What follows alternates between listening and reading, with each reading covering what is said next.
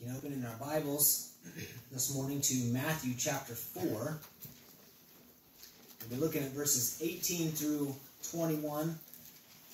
And then in a moment, we'll flip to, to John chapter 20. So if you want to mark both of those, you can, or if we just want to sit, sit in Matthew and, and flip there in a minute, you can do that too. We've been looking over the last several weeks at our core values, the core values of our of our church. And so we've covered the first three already. The last one we'll we'll cover this morning. But who can tell me the first core value of our church? Yeah, our relationship with Jesus. Can we say that together? Our relationship with Jesus. There you go. That's our first core value as a church. It's the first place that, that we come to. And if really if we had to sum it all down to one thing, that's that's where we would go. But that relationship calls us to some other things too, doesn't it? The second core value, what's the second core value? Local church. The local church, right?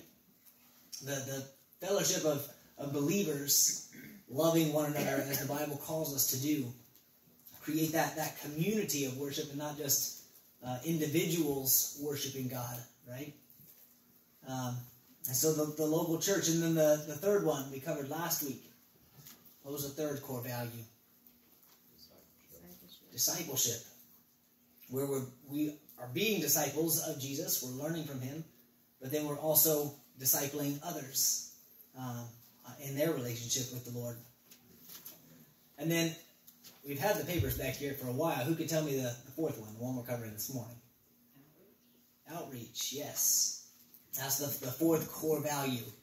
Um, and we even said last week that really it, it's a, a, a, byproduct of discipleship. It's part of discipleship, but it's it's important enough that it's worth standing on its own as a as a core value. And so we'll we'll talk about that this morning. Outreach. And so these are things that we, we've preached this this series on them, but they're they're not things that are going away as we as we continue on to, to other topics in our preaching, every every Sunday we're we're doing these things. Um, every Sunday, essentially, that one of these things is going to be in our message, or, or multiple things. Um, so these will uh, continue to be things uh, for us as a church that, that, we orient around to help guide our our decisions and our direction. So um, so these things are certainly not things that we want to to leave off. Um, if you haven't grabbed one of those papers in the back, I encourage you to do that this morning. Maybe hang it up on your fridge. Uh, do something where, where you're seeing that, um, and you'll continue to to see those in the in the life of the church as we have. I mean, for for years and years. This this isn't anything new either. Uh, so right there in in Matthew chapter four, we'll start. I said in verse eighteen is the beginning of Jesus' ministry, earthly ministry. And it says, Now as Jesus was walking by the Sea of Galilee, he saw two brothers, Simon, who was called Peter, and Andrew, his brother, casting a net into the sea, for they were fishermen. And Jesus said to them, Follow me, and I will make you fishers of men. It says, Immediately they left their nets and followed him. And going on from there, he saw two brothers, James, the son of Zebedee, and John, his brother in the boat with Zebedee, their father, mending their nets, and he called them. Immediately they left their boats and their father and followed him. And so last week we looked at the first part of Jesus' statement, follow me. We talked about the discipleship. But this morning we're going to look at the, the second part of that statement that he makes to, to his first followers. That I will make you fishers of men. That I will make you fishers of men. Now that's the, the beginning of, of Jesus' ministry. And I'm sure when he's telling the disciples this, they're going, What do you, what do you mean by that? What what does it mean to be fishers of men, right? Like he, he says he'll deal with that later. Right now, just, just follow me. So he calls them to that to that walk of discipleship. But turn with me now to John chapter 20. This is our, our call to worship this morning, but it is the statement that Jesus makes to his disciples at the end of his ministry, at the end of his earthly ministry, that is, after he's died on the cross and rose from the grave, we see Jesus make another statement to his, his disciples. And there in chapter 20, verse 19, it says, so, the, so when it was evening on that day, the first day of the week, when the doors were shut, there were disciples, where the disciples were, for fear of the Jews, Jesus came and stood in their midst and said to them, Peace be with you. Imagine it'd be pretty scary to just see a man show up in the room, right? Doors are shut and locked, and Jesus shows up. He has to say, Peace be with you, right? It's okay. Don't don't fear. In verse 20 it says, And when he had said this, he showed them both his hands and his side. His disciples rejoiced when they saw the Lord. So Jesus said to them, Peace be with you. As the Father has sent me, I also send you. And I don't know about you, but I, I would think that as the disciples are hearing that, maybe they're they're reflecting on their own calls to Jesus in the beginning.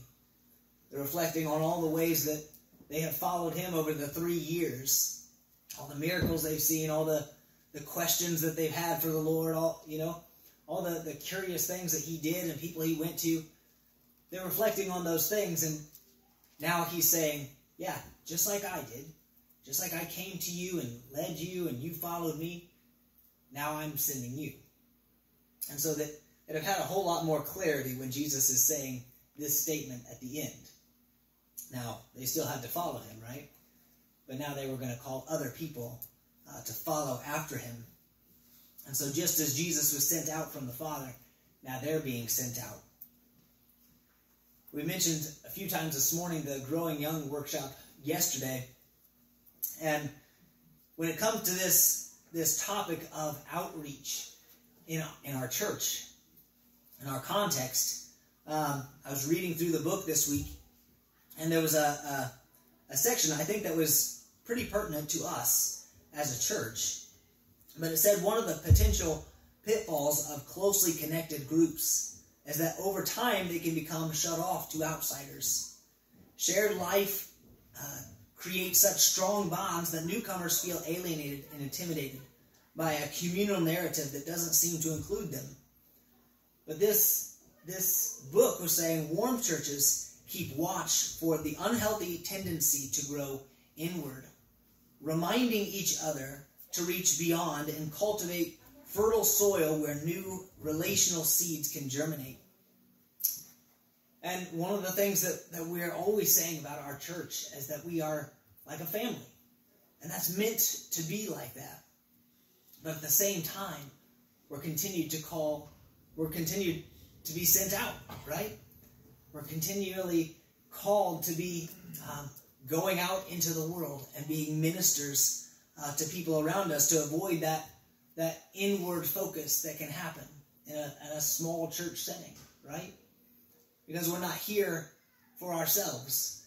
If we were, God could just take us right up to heaven, right? just take us now, rapture us, we're done, right? But He has a purpose for us here in this world to be sent out, to be that, that salt and light in the world. And so, this morning, I want to talk about three ways that we avoid that tendency. Three things that we already do as a church, uh, and three things that we can continue to do as a church to avoid the tendency to, to grow inward that, that small churches can have. So, the first, the first thing, the first uh, uh, guiding principle of this of this core value is another being statement. If you're taking notes, you can write that word being. And the, the statement is being an active presence in our community. Being an active presence in our community. And if you remember, we had a, another being statement last week when we talked about discipleship. And that statement said, being living examples to the next generation, examples of discipleship. Essentially, we are following after Jesus. We can't call people to follow us if we're not actually following after him. So that has to be uh, the, the precursor to this. But when we get to this, this core value of outreach, uh, the emphasis here is, is connecting with the world around us. Right? If we're already connected to, to Jesus Christ in discipleship, we're also called to be connected to, to our community, to our, our world. This can be hard, can't it? It can be challenging when we turn on the news or we hear about some things going on in the world around us. Or maybe they're not things that are so far off. Maybe they're even things in our own backyard that are challenging to, to our faith. It can be tempting to want to, to withdraw from that um, and, and to, to just try to maintain our own faith, right? Hold on until Jesus comes. But that's not what we're called to do, is it? That call is still on us to go into the world, even though maybe we want to avoid that mess. But think about what that, that meant for Jesus to be sent out from the Father. You think about the, the glory that he dwelt in in heaven, the, the perfect, unbroken communion that he always had with his Father. You think about the angels worshiping and the glory of, of that, that place. And yet God said, Go out. And Philippians 2 tells us that although Jesus existed in the form of God, right, he was always fully God, even when he came here to earth. Although he existed in the form of God, he did not regard equality with God a thing to be grasped. He did not, uh, instead, he emptied himself, taking the form of a bondservant and being made in the likeness of men. He humbled himself to become a man, didn't he? And then, already being found in appearance as a man, it says that he humbled himself even further by becoming obedient to the point of death. And not just any death, the death on a cross. We see that humility in Christ in Philippians chapter 2 calls us, challenges us as believers to, to take that kind of humility and live it out. And says, because of what Jesus did there, he was glorified and given the name that is above every name. That every knee will bow and every tongue confess that he is Lord. Isaiah 53 tells us that Jesus became despised and forsaken of men, a man of sorrows and acquainted with grief. And then Hebrews chapter 2, we looked at this a few weeks ago in our Bible study. That says that Jesus was not ashamed to call us, human beings, brothers and sisters. Brethren is the word there. He's not afraid, he's not ashamed to call us brothers, to identify with us, to, to identify with our, our, our mess, right? He came right into it. Out of, out of the glory of heaven, right? And he entered right into, into the mix of it. You know, as Christians, we are continually called to be an active presence in our community, and that's that's not an option for us, is it? We don't get to, to withdraw if we're following Jesus. We go out. Right? We get involved in the in the mess of the world. Because Jesus has given us a message, hasn't he? He's shown us his light and his life. You know, I think of the, the many ways that we are already doing that. I said that we, we are already doing these things. As a church, I think uh, one of our, our big outreaches is our, our VBS program. Every year we have a, almost 50 kids coming to that to that program. Um, and most of those are not kids that, that regularly attend church. Most of those are friends and, and friends' friends and cousins and they're coming, they're hearing the gospel in those places, and that's that's an outreach for us as a church. We've mentioned several times this morning the, the Kids Hope program that, that we do with Deerfield. That's an outreach of the church, a, a place where we're being Christ in in a setting outside of this this building, right? Um, I think also of the, the pregnancy care center, the different things that they do, the, the walk for life and the golf tournament, things that we participate in there.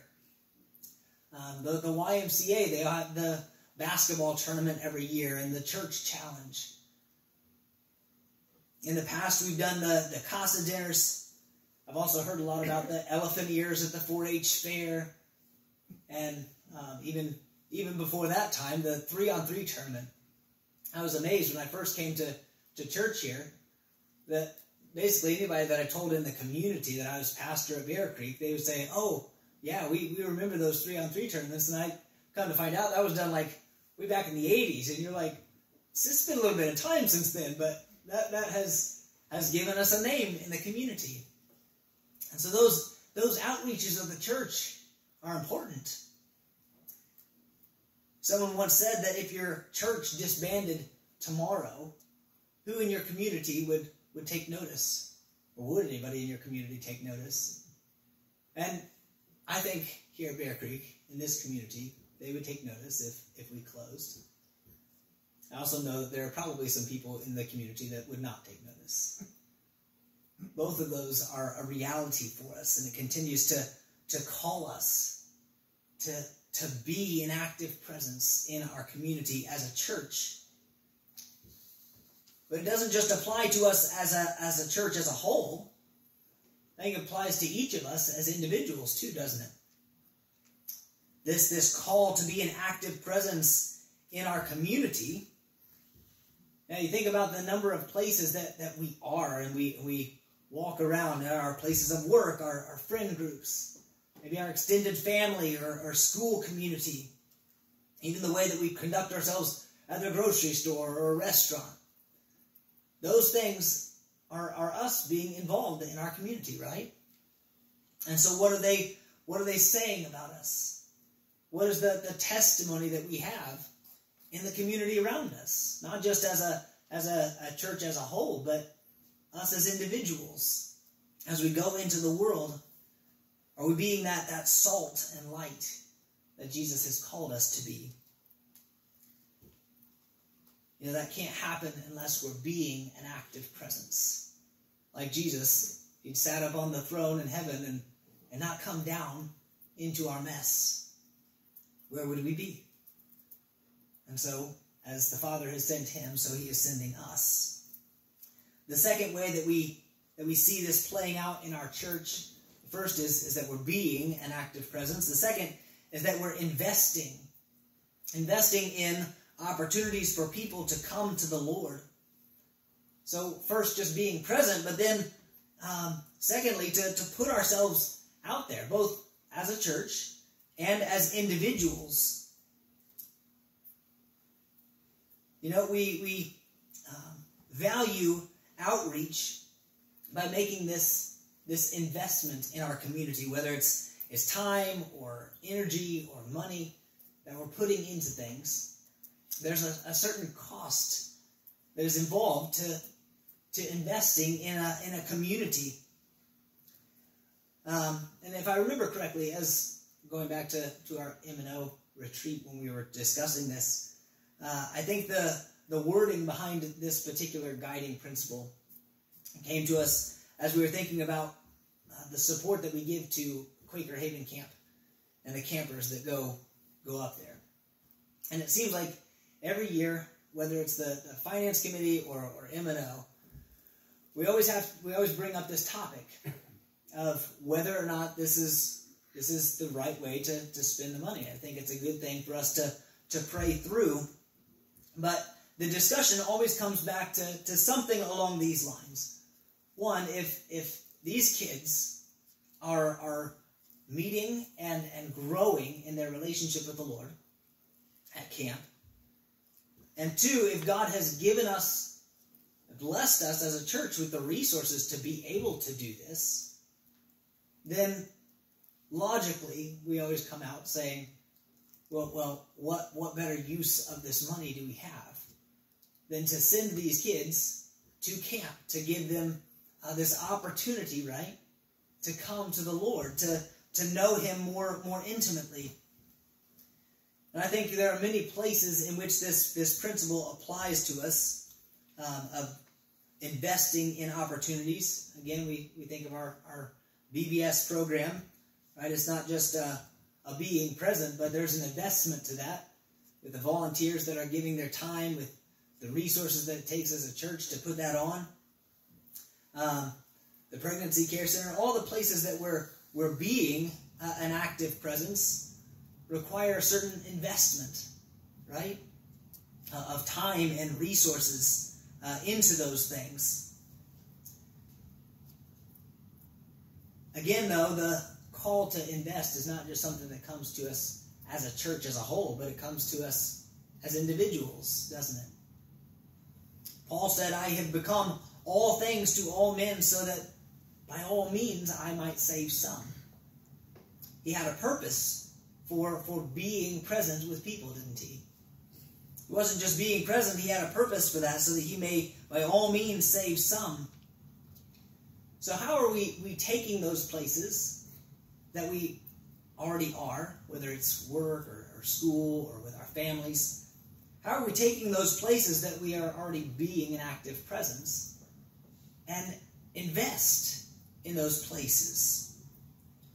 How are we taking those things and investing in opportunities for people to come to the Lord? I like that, that word in there, the opportunities. Right? Because, to be honest, you and I, we, we don't, at the end of the day, we can't make people follow the Lord, can we? we can't, we're not coercing people into following the Lord. All that we can do is provide opportunities, right? Show them Jesus in our life. Be available. Maybe it's a friend that you know has a need. And you just say, hey, I'll, I'll be praying about that and then really pray about that and circle back with them the next day or two or, or week or whenever whenever is appropriate and ask them hey how's that going? Follow up with them. Uh, or maybe if a scripture comes to your mind of a, of a situation that you're that you're familiar with in somebody's life tell them about it. Maybe shoot them a text and say hey this was on my mind or, or maybe write out a note depending on what generation you are right? But but let them know what what's been on your heart as you're as you're praying for them. Uh, and there's a lot of ways to, to invest in people's lives. Whether it's again any resource that we've been given, time, energy, money, intentionality. But making that investment takes it to the next step than just being present, where we're investing in people's in people's lives. And the third thing this morning uh, the third way that we're we're doing this uh, as a church that we see this play out is inviting.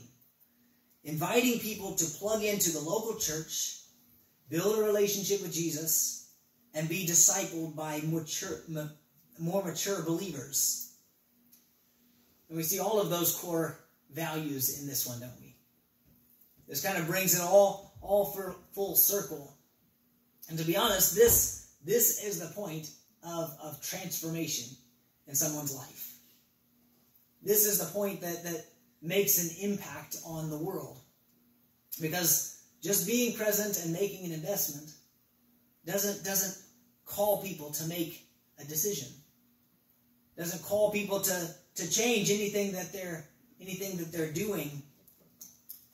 But we want to, as a church, we want to continue to invite people into our fellowship. Want to continue to invite people to, to find the Lord and then lead them in, in discipleship, right? Bring them into to a Sunday school class or just bring them to church for a while. Let them see how you live your life, how you're following Jesus, and then let them learn from that.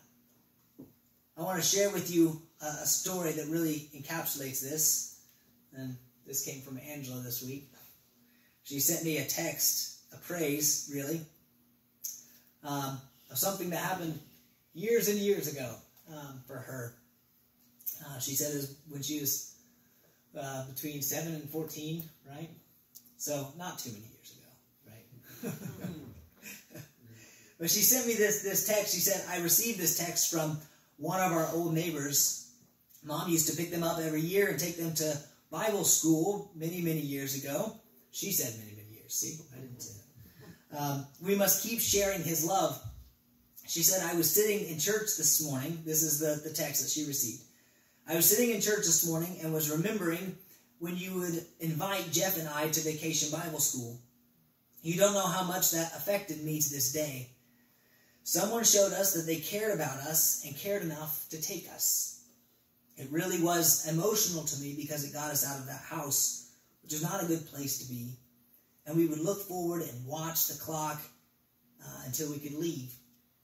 It was our only way that we learned about Jesus and how he really showed and could love someone that, uh, that they didn't even know, like me. Just wanted to say thank you for caring enough and showing Jesus' love to me. You will always have a part of my heart because you showed a little girl that someone loved her and cared about her because you didn't even know us then that well. Thanks. And man, what a what a perfect example of, of just being present in the community, of investing in someone else's life, and then taking that step to invite them. Right? And maybe that was a little messy. Because they had to organize a car ride and and maybe all the, the things in their life weren't weren't the same and didn't jive with the way that your family operated. them. But you brought them in. Invited them. And that life is changed. That world is changed because of that. Amen? Amen? When Jesus calls us to be sent out as he was sent into the world, that's what he's talking about. Just being the salt and light to people around you, noticing them, investing in them, and then calling them, inviting them to into a relationship with him. So, where do you find yourself this morning with this core value of outreach? I think I've asked this with each one of these. When it comes to outreach, this, this core value of our church, are you being an active presence in our community? Most of you I know are. You're involved in this community, whether it's your job or your families. And so from there, are, are we investing in the people that are around us? Just, just the, the close inner circle of our lives? Are we investing in those people and being intentional? And then lastly, are we inviting people into our fellowship, into a relationship with the Lord, into maybe a walk of discipleship where they follow us for a little bit until they can find Jesus, right? Would you pray with me this morning? Lord, we thank you for the, the mission that you have given us as a church. Daunting as it may be sometimes, Father. But we thank you for, for giving us a part in the work that you have begun and continue to do in our midst and in our world. And we pray humbly, Lord, that your Holy Spirit would help us in that task to continue to be salt and light in the world to continue to go out into the world as, as you have done in coming to us. And Lord, it is out of gratitude for what you have done that, that we want to, to follow you in that. To complete this circle of discipleship by then going out and doing what you did. And so we pray that you would help us in that task. Give us the, the energy and the passion, as well as the wisdom and sober mindedness to go about this task. And Lord, I just pray that you would be with each one of us as we grapple with this in our own hearts, finding our own step and place in, in this call of God on our life. Where does this play out? And Lord, I pray you continue to bring these words to us through the week. In Jesus' name I pray. Amen. God bless you this morning. Have a blessed week.